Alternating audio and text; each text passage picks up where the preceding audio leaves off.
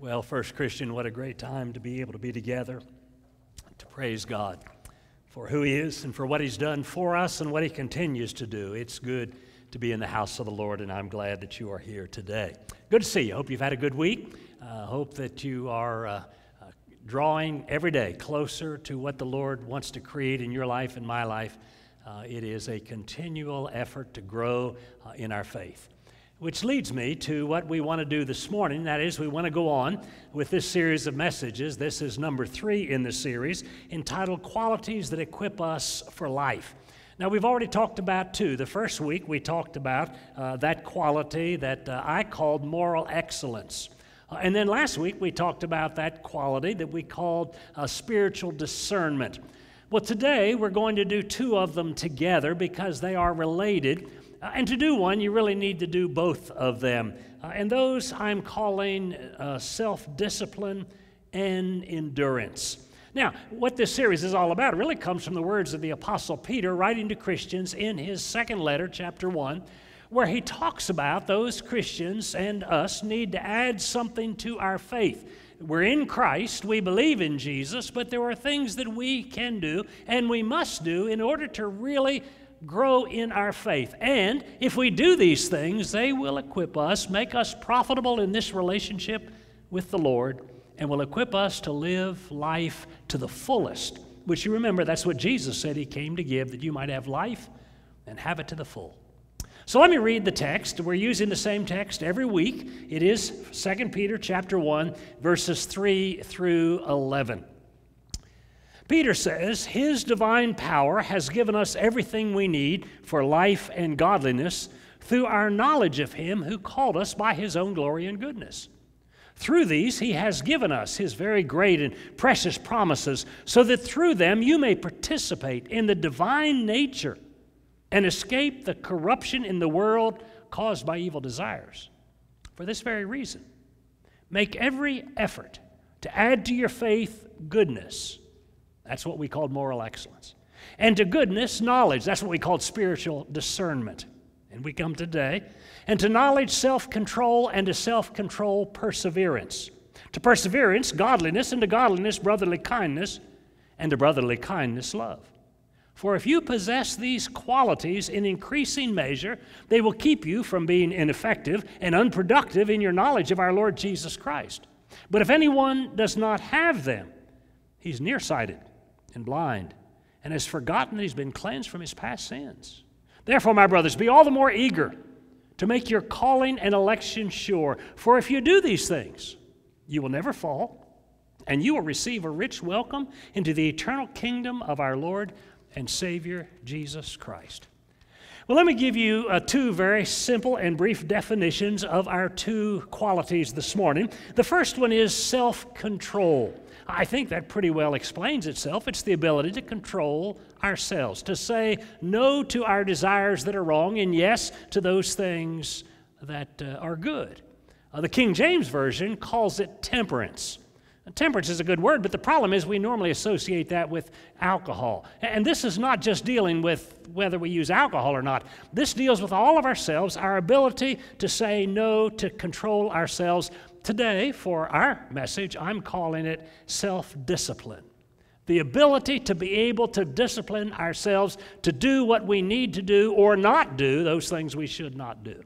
And then the second word is perseverance. Perseverance is the ability to face difficulty and keep going, the ability to run the race with patience and to head on to finish strong to the finish line. I'm calling it endurance. So I would illustrate that by talking about maybe a marathon runner. Here is a man or a woman who's planning to run 26 miles. I can't imagine that. I never have liked to run. I get tired driving 26 miles. But to ride 26 miles, just beyond my imagination. But people just don't get up one day and say, I believe I'll become a marathon runner and run a race today. It takes tremendous discipline of self to train, to practice, to push yourself on and on and on. And then when the race starts, you got 26 miles and you got to keep on keeping on to the finish line. That, that's the kind of words we're talking about this morning. So we need to add to our faith self discipline and endurance, and if we do it, it will make us effective in our relationship to Jesus Christ, and it will equip us to live in this broken, hurting world to the fullest of life. So, I want to make some observations about these two qualities self discipline and endurance. The first observation I make this is a call for us to do the hard work of our faith. This is a call for us to do the hard work of our faith. Now, you understand in many areas of life that you have to do some hard work. If you have a joint replaced, you've got to do the exercises. If you enroll in college, there will probably be some courses that you don't want to take, but you got to take to graduate. If your family is growing, you may have to do a house renovation or get another house. And you go to the doctor, and he says your blood pressure is ridiculous and your sugar is off the chart, you got to go on a diet. And we understand in the physical sense that there are times that there is hard work that we really have to do. We have to do it. And when we come to understand this matter of our relationship with Jesus Christ, we have to discipline ourselves and we have to keep on, even when the going gets tough. I just read an article in the paper this week there is a fella right now who is attempting to break the record of hiking the trails in the Smokies, over 900 miles, uh, and he's planning on doing it, I forget in how many days. It's some ridiculous amount. But they said he can't even eat enough to keep his weight up because he's burning so many calories, he just can't take in enough to keep his weight up. And I, I that inspires me, not to go hiking, but just to realize that there are people who are willing to pay a pretty big price in order to endure, in order to keep going, to discipline themselves, to be able to be what they ought to be. Now, that's important because I think too many people in this world quit too soon. They quit on their families because it got a little hard. They quit on their faith because things didn't go their way. And they quit on life. Some people do it because they just got sloppy throughout life and didn't take care of themselves. Some people do it because they want their own way. It's all about self and not about the kingdom of God. Some people do it because they just, uh, well, it's just too hard. You begin to think about this matter of endurance. You begin to think about this matter of self discipline. You understand this is work. This is the hard work of our faith. Now, as an illustration of perseverance, this is our anniversary this week. Judy has persevered with me for 53 years. Maybe you would say she's endured it. And it's not always been easy. Those of you who are married understand what I'm saying. It's not always easy, but it's worth the effort. Now, the truth is, in our Christian life, for some of us, there are some things that are easy. For instance, there are some people who find worship to be one of their greatest joys. They could worship for 12 hours straight, they, they could just spend a whole day praising God. There are other people who find Bible study. It just jazzes them. They could sit down at a desk and work for hours meditating and thinking about and researching and going through the scripture and just taking every little part. It's easy for them. For some people, service is easy. They love working with people, they love working for the church, and, and they would just give their whole week, volunteer for everything they could. In other words, for some people, those three things that I'm using are easy. But what if they're not easy? What if worship is difficult for you or for me? What if Bible study is, is hard? What if, what if my mind wanders and I'm not naturally a reader? What if working with people is frustrating? Are, are those things right things to do? Do we not do them because they're not easy? Or does self discipline determine that we're going to do what we need to do, whether it's easy or not? We're going to push on. We're going to run this race. We're going to do the hard work. Because you see, we're adding it to our faith. I want you to listen to how the Apostle Paul describes his life. In 1 Corinthians chapter 9, beginning with verse 24. Paul says, Do you not know that in a race all the runners run, but only one gets the prize? Run in such a way as to get the prize. Everyone who competes in the games goes into strict training. They do it to get a crown that will not last, but we do it to get a crown that will last forever. Therefore, I do not run like a man running aimlessly. I do not fight like a man beating the air. No, I beat my body and make it my slave, so that after I've preached to others, I myself will not be disqualified for the prize. Now, Peter says, make every effort. This is the hard work. This is what is necessary for us to be Christ followers. There was an ad back, oh, I don't know, four or five years ago on television, showed a guy doing a push up and said, What if only one push up was all you needed to be in shape? And then it showed a stalk of broccoli and said, What if only one stalk of broccoli is all you needed to be in shape? Well, folks, it's not that easy. We understand that being a Christ follower is not always the Sunday school picnic. We understand that being a Christ follower in this world sometimes is difficult. And we can choose to take the easy way, or we can decide that we're going to discipline ourselves, say no to those things that are wrong, say yes to those things that are right, and we're going to live as we ought to live. We're going to be what we ought to be. We're going to practice enduring, running that race. Deidre, help me out. All right, thank you, Dee. I, I need a little help once in a while. And, and we begin to think about this matter. Folks, the, the truth is, sometimes, you, you know, there's something in, in, in running, I'm told, that you hit the wall. What do you do if you're a runner? You quit or you push on through? See, if you were told that the Christian life is going to be one big happy church picnic, you were misled. Listen to the words of our Lord. You're familiar with them, Matthew 16. Then Jesus said to his disciples, If anyone would come after me, he must deny himself and take up his cross and follow me. For whoever wants to save his life will lose it, but whoever loses his life for me will find it. What good will it be for a man if he gains the whole world yet forfeits his soul? Or what can a man give in exchange for his soul? Jesus said, Deny self there's that self discipline. And take up a cross. Now, now, you understand that taking up a cross doesn't mean wearing a piece of jewelry. In Jesus' day, a cross meant capital punishment. And when a man took up his cross in Jesus' day, he was going to die. That's that concept again of dying to self. Because if we understand the Christian life, we're no longer in charge. It's not self, it's the Lord. And if He's the Lord, then He rules and He reigns. You see, we all have we all have desires.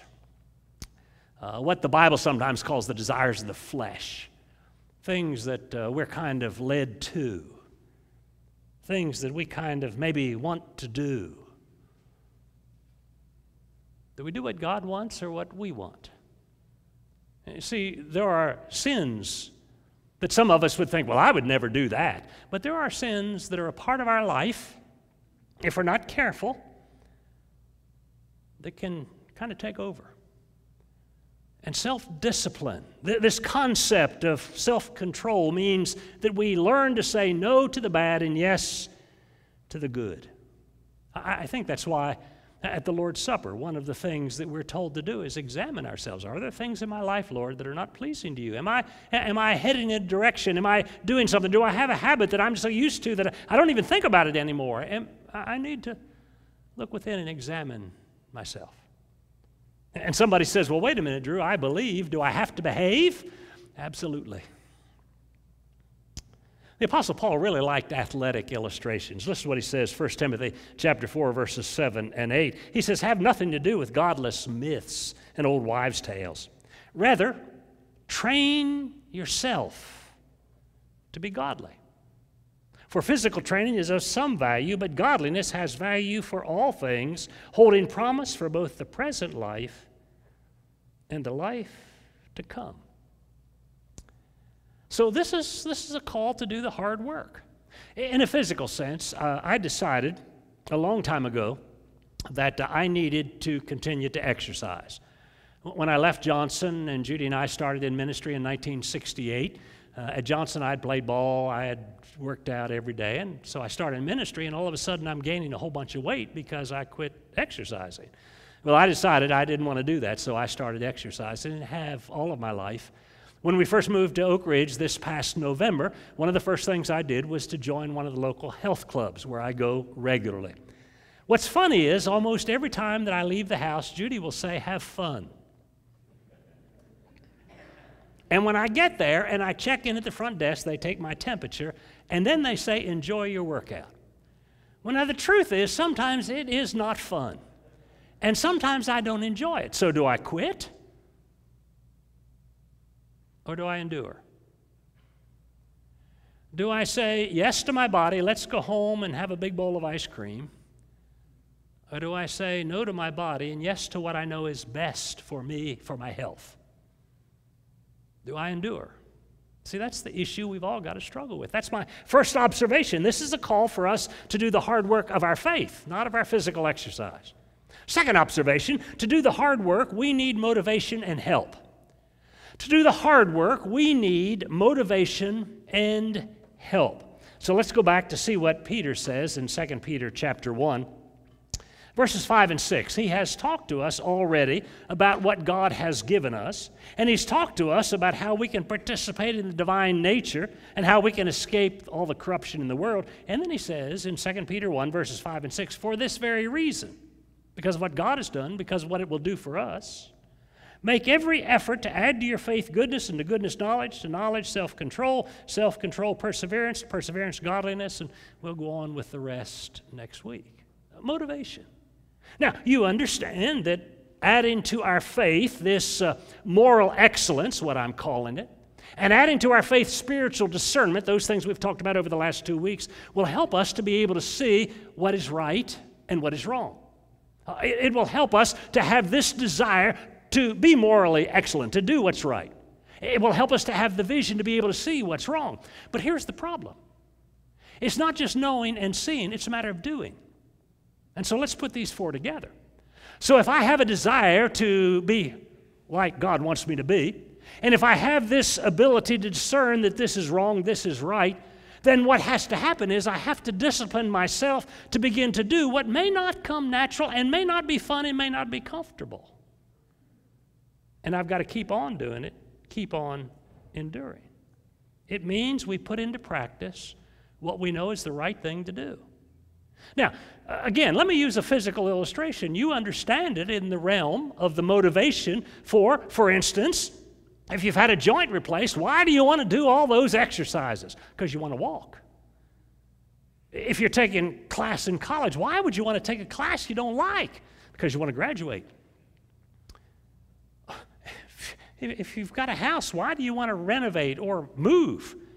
Because you've got too many people living in one place and you're walking all over each other. And why in the world would you want to go on a diet? Because if you don't, you're going to die. And if you have that kind of motivation, then you begin to look for help. You might go to a therapist to help you with the exercise. You might take some extra courses to help you with that course that you're going to really struggle with. You may go on YouTube and figure out how to do a house renovation. And a diet?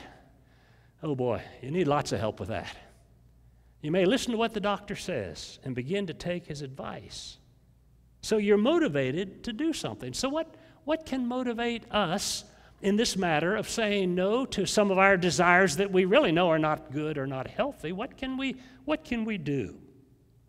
Well, listen to what Peter says in 2 Peter chapter 1 verses 10 11.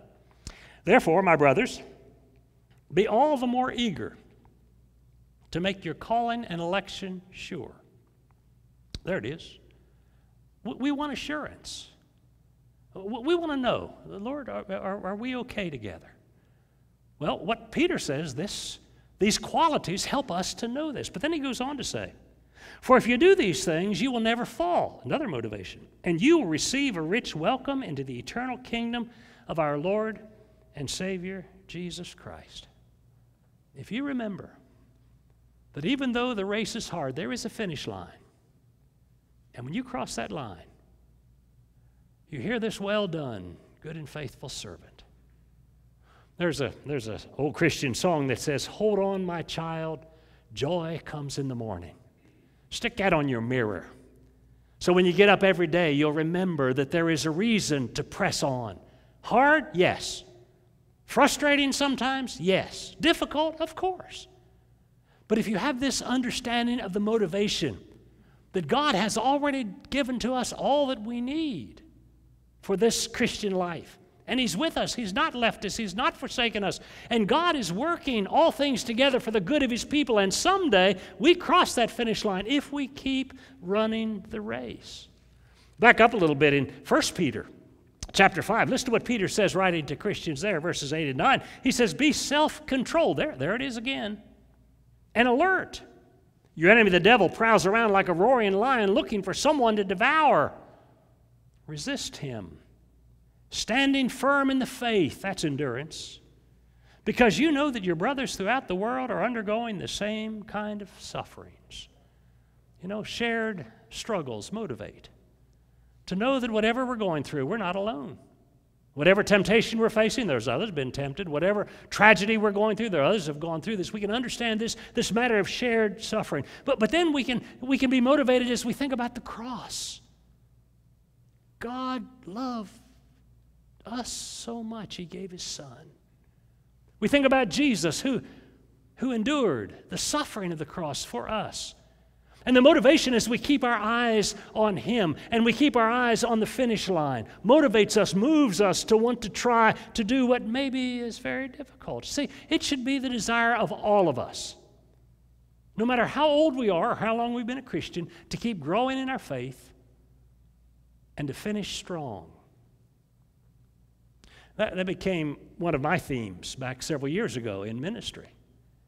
Uh, I, I want to finish strong.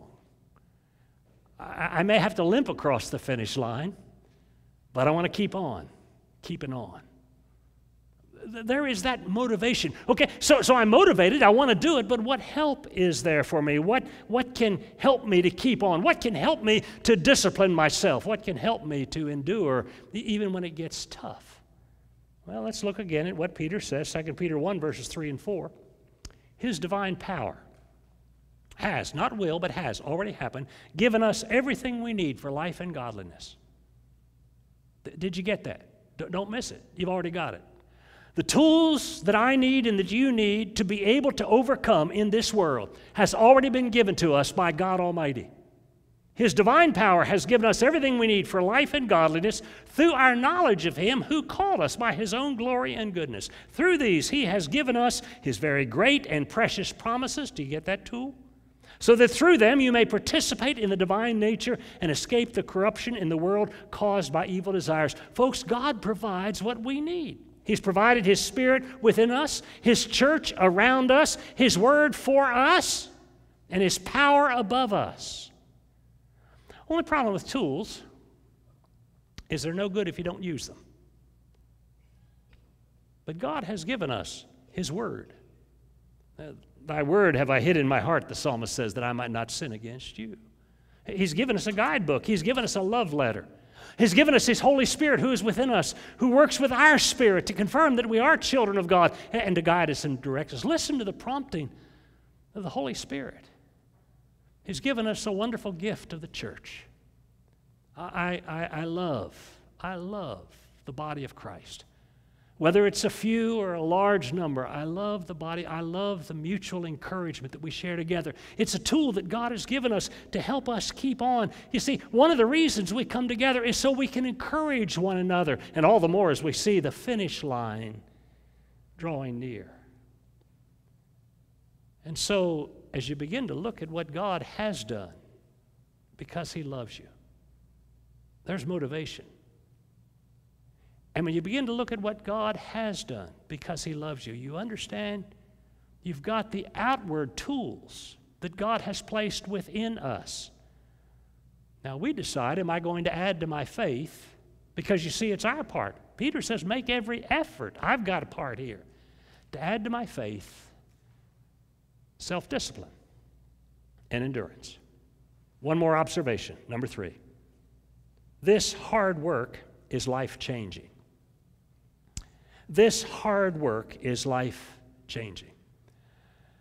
I have known people, uh, a good many people, who have come up out of the baptistry, and from that moment on, they were just radically changed. I mean, radically transformed. You could see, even their appearance looked different. But for most of us, it doesn't happen that way. Most of us, it's a continual process where God continues to sand on us and plane us and shape us and mold us to change our lives, to transform us into the very image of Christ. Peter says in verse 8 of our text that if we do these things, if you possess these qualities, 2 Peter 1 8, in increasing measure, they will keep you from being ineffective and unproductive in your knowledge of the Lord Jesus Christ. You see, it's life changing because we understand that when we became a Christian, we entered into a new relationship. We are now in Christ. And because we're in Christ, we're under new management. It's no longer self who's the king, it's the king of kings who is kings. And so our desire naturally should be that we want to do what our king says do. And we want to follow where our Lord says go. And that means sometimes having to say no to some of our own desires. We begin to understand that, as Paul says, if anyone is in Christ, he's a, he's a new creation. Jesus indicated it was such a radical thing, he called it a, a new birth. It's life changing because we practice what we say and we live like who we are, not just on Sunday, but every day of the week. Paul writes to the church at Ephesus, Ephesians 4, verses 22 through 24. He says, It says, You were taught in regard to your former way of life to put off your old self, which is being corrupted by its evil, desi- deceitful desires, to be made new in the attitude of your minds, and to put on the new self, created to be like God in true righteousness and holiness. Did you see that? To be like God. Now, now, that's not in power, that's not in knowledge. We're not going to be like God in that way at all. He is God. But it does mean that we'll be like Him in our lifestyle. We'll seek to be holy because He is holy. Do you see how, do you see how these two qualities are life changing? We, we understand through this matter of our knowledge of the Lord Jesus Christ. We understand that there are things that are right or wrong. So we have this, this ability to spiritually discern you know what it is. You do something, and, and it's almost like somebody whispered to you, that really wasn't the right thing to do. Or you're thinking about some decision, and, and you hear this prompting. I believe the Holy Spirit prompts us sometimes, and, and, and you're thinking, well, maybe I need to. Maybe I need to look a little harder at this decision. Maybe, maybe I'm being very selfish here. Or maybe, maybe this is not good for me or good for my family. And so we discipline ourselves to begin to seek out doing what's right, and we really have this desire to keep running the race. And so we set our eyes on things above, and we run this race with the desire to finish strong for the Lord, who's loved us and blessed us. Let me give you an Old Testament illustration of a fellow who practiced self discipline and endured. His name is Moses. Uh, you remember the story of Moses. He was 40 years old when he left Egypt. He was 80 years old when God called him to begin doing his work. 80 years old, folks. Some of us are getting closer, and some of us can relate to that. But listen to what the Hebrew writer says about Moses. Hebrews 11, 24 through 27. By faith, Moses, when he had grown up, refused to be known as the son of Pharaoh's daughter he chose to be mistreated along with the people of God rather than to enjoy the pleasures of sin for a short time. Hang on to that. He regarded disgrace for the sake of Christ as of greater value than the treasures of Egypt because he was looking ahead to his reward. By faith, he left Egypt, not fearing the king's anger. He persevered because he saw him who is invisible. Can you open the eyes of your heart? I love that song, Ross. Thank you. Open the eyes of your heart to see he, the one who is invisible. Maybe to see what Hebrews 12 talks about is that, that great cloud of witnesses that surrounds us, cheering us on, I believe. Keep on. Keep on. Don't quit now. Keep on. And when you hit that wall, that rough time that's hard, so hard, you keep your eyes on the finish. But more than that, you keep your eyes on the one who has gone ahead and already finished the race, our Lord Jesus Christ, and who's waiting to welcome us across the finish line. Jesus said one time, Matthew chapter 7, verse 24, Therefore, everyone who hears these words of mine and puts them into practice is like a wise man who built his house on the rock. You see, it's not enough just to believe. We do have to behave. It's not enough just to know the right thing. We're to do the right thing. It's not enough just to start the Christian life. We've got to endure to the finish. Then, my friends, as we practice self discipline, and as we endure, we will be equipped to live this life for as long as God lets us and to live it to the full. Anybody never made that decision to follow Christ? It's a decision. It's a decision if you have not made that decision, you can make today. To decide that you want to enter into this relationship with Jesus. To know that His grace is far greater than any sin you've committed. To know that His blood will cover and remove your sin now and forever. To know the hope of life, real life today. And uh, in just a moment, we're going to sing about deciding to follow Jesus. And if you've never made that decision, you can do it today. I, will be here at the front. Uh, other elders, staff will be around. We'll be glad to talk to you and help you with that. Come ready to confess before people. I, am ready. I believe in Jesus, and I, I'm putting my trust in Him. And I'm going to turn away from stuff that I know is wrong, and I'm going to be baptized for the washing away of sins and the gift of the Holy Spirit. And I'm going to begin this race. You see, you got to start the race. But, but most of us here have already done that. Something else you need to do to train yourself for godliness? Something you need to quit or give up that's uh, you know is not helpful, you know is hurting you, hurting others. Good time to decide to follow Jesus. Let's pray. Father, you've set out for us a course of a race to run. Help us to run well. And help all of us to finish strong. I, pray, Father, that on those times when it's discouraging or difficult or hard or Uh, when, when we just get overwhelmed, would you, would you help us? Please help us, Father, to keep on. And I pray, Father, that when we struggle with certain areas of life, that we might remember we're not alone. But you've equipped us, you've given us the help we need. And surely you've given us the motivation we need. So I pray that we might be in all things faithful servants of you, our God, our Father. In the mighty and precious name of Jesus, I pray.